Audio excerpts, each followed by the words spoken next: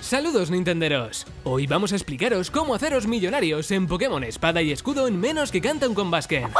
Antes de nada, tenéis que saber cómo barajear incursiones Dynamax. Eso lo explicamos en este vídeo que os dejamos por aquí arriba. Al reiniciar los nidos Pokémon recibiremos una enorme cantidad de vatios, en concreto 2000. Ahora bien, ¿qué podemos hacer con esto? Bueno, pues entre otras cosas, hacer un par de trueques y hacernos millonarios. Tendremos que reunir bastantes vatios para conseguir mucho dinero, en concreto 66.000, 33 reinicios, y echando unos cálculos rápidos, a 20 segundos por reinicio, unos 10 minutos. 2. Después tendremos que visitar a los vendedores ambulantes que se encuentran en el área silvestre, en concreto buscando un objeto, la Lujo Ball. Quizá el mayor problema estará en encontrar al vendedor que las vende. Incluso pueden cambiar por día, pero son bastante recurrentes. Esta Pokéball vale 100 vatios, pero en tiendas puede ser vendida por 1500 Pokédólares cada una. Vendiendo las Lujo Ball obtenidos comprando a los vendedores del área silvestre, podremos conseguir más o menos un millón de Pokédólares en 10 minutos.